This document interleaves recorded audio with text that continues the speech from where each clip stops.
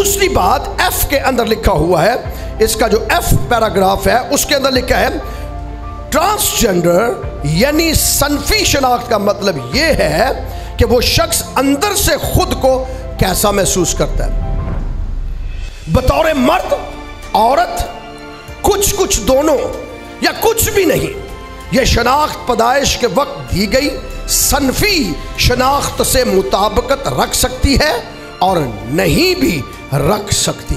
इसका सादा तर्जुमा करने लगा हूँ। इंग्लिश में भी ये एक्ट है, लेकिन मैंने इसको उर्दू ट्रांसलेट किया ताकि मैं आप तक पहुँचा सकूँ।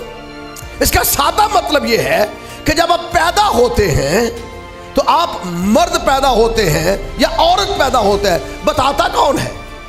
मैं आपसे बड़ी खुल के बात करने लगा हूँ ताकि हम बाइबल से जान सके। बताता कौन है? हाँ?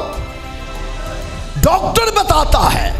सो जब डॉक्टरी निज़ाम कम था अवेयरनेस नहीं थी, फिर कौन बताता था? दाइयाँ बताती थी वेरी गुड दाई माँ बताती थी और बाहर आकर, कमरे से बाहर आकर, सबसे पहले यही नवीद सुनाई जाती थी ना, बेटा हुआ है, या बेटी हुई है। तो अब ये कानून ये कहता है कि आप जब ये कह सकते हैं और आगे भी इसके एग्ज़ाम इतना लंबा मैं इसको लेकर नहीं जाना चाहता, मैं इसको ब्रीफ आपको सिर्फ़ बताऊँगा, जिसको एक्ट चाहिए उर्दू में भी मेरे पास मौजूद है इंग्लिश में भी मेरे पास मौजूद है, दोनों जुबानों के अंदर मौजूद है, आप इसे ले सकते हैं।